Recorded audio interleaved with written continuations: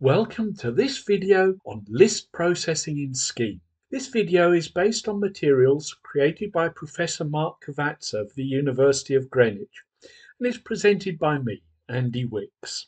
Let's have a look at what we're going to get into today. The first two commands we're going to look at are cons and append. Both of these work on pairs. Cons adds an item at the front of a list. So the first item is what you want to add at the front, and the second item is a list. Append works in the opposite direction. It adds an item at the end of a list. So the first item is the list, and then you put what you want to add to that list after that. Neither changes the original list. So it doesn't matter what you do to this particular list, it stays the same, but the result of what happens is different. Therefore, if you have a command like cons prof prof, what it'll do is take what's after the single quote, which is taken as a literal atom, and add it to the list prof. So let's see that working, but you'll notice that prof will remain unchanged. So let's move over to scheme. You'll notice that this time I'm using the definitions part of the screen. Here we're going to define a constant called prof. Prof is a list that contains the letters of Mark Cavazza, but this list is really a tree. It's the atom M, then a pair, AR. A pair is a small list of two items, then two atoms, C and C, and then there's a list that contains a list, and at the end are the two atoms ZA. Now if I try and run this, absolutely nothing will happen. You'll notice that nothing's occurred because we haven't got a command. So if I ask it to do something, like print out the value of prof, then we get a result.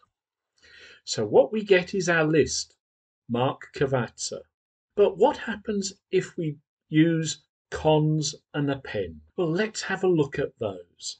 Here I've added in the cons, which will put prof in front of the list, and I've appended a smiley face to the end of prof. However, since a closing bracket has a meaning in Scheme, I have to use slash closing bracket so that it knows that this isn't a real closing bracket. This is an escape character, very similar to the system that's used in Python. Now if I run that, what I get is the cons produces prof Mark Cavazza.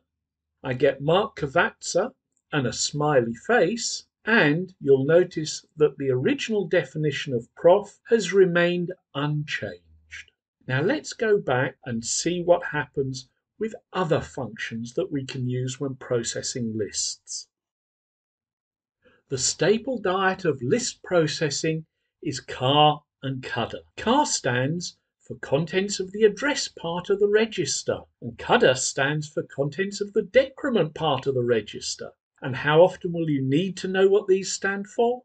Not a lot. So let's have a look at what these produce. What we have is a list and a list is always split into two parts. The first item, whatever that is, whether it's an atom, a pair, or a list, that first item is the car.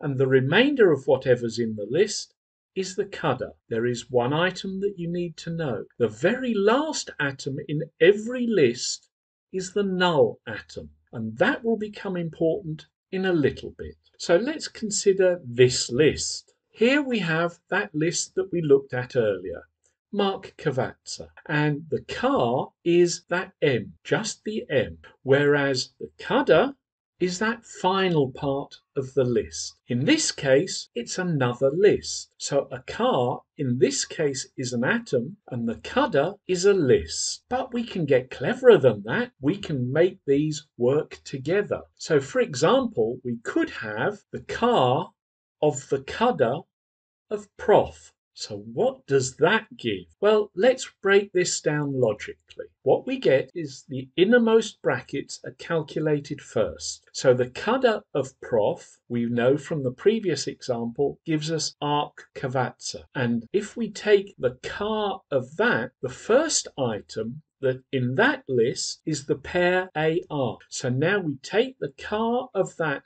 cudder bit and we get the pair AR. Now let's see that working in scheme.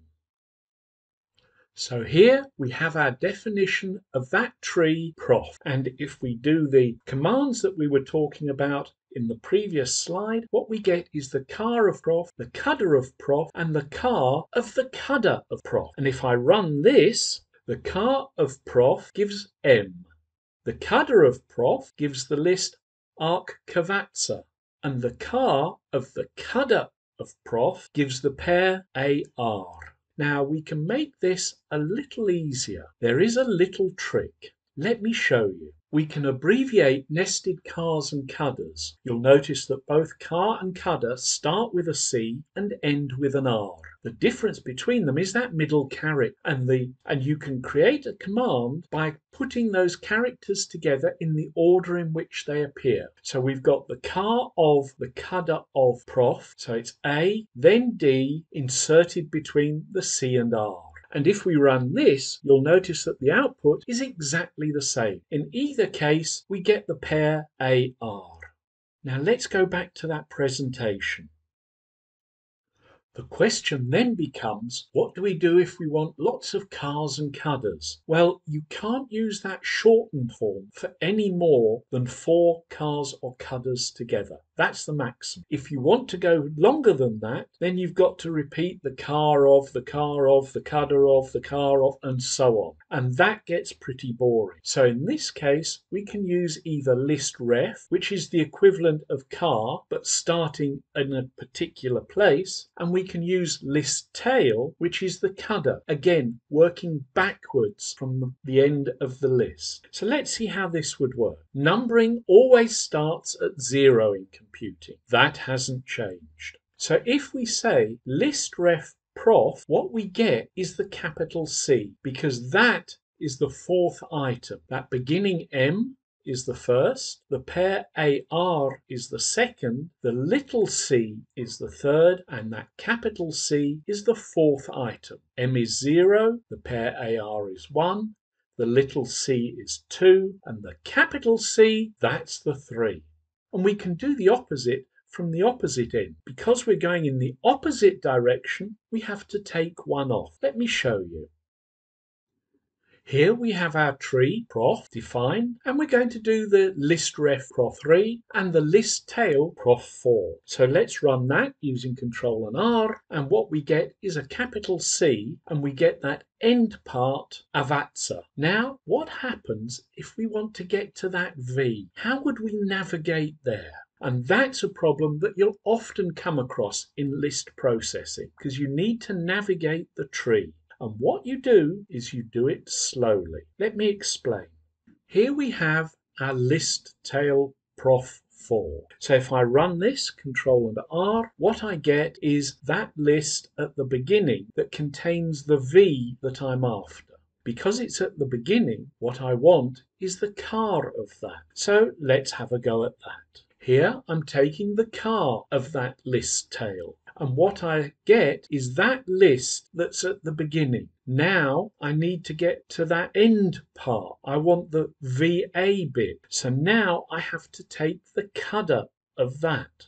So if I take the cudder of the car of the list tail, what I get is a list that contains the pair VA and the atom Z. Now what I want again I can see is the very first item. So I want the car of that. Here I have the car of, the cudder of, the car of, the list tail. We'd never write this normally.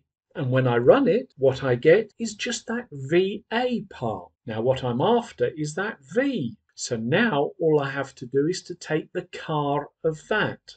Here is that car of what we had before. And when I run this, what I should get is the V. And lo and behold, I do! Things are looking good! But we can make this a little easier.